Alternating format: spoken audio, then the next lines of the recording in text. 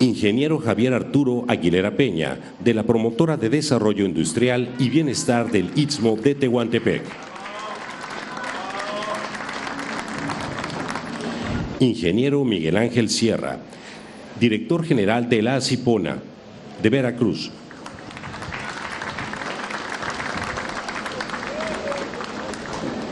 Maestra Jennifer Sophie Catherine Feller Enríquez, encargada del despacho de la Subsecretaría de Relaciones Exteriores.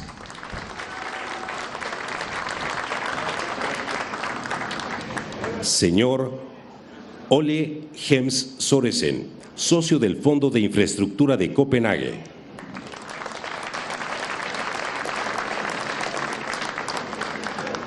Almirante Raimundo Pedro Morales Ángeles, director general del Corredor Interoceánico del Istmo de Tehuantepec.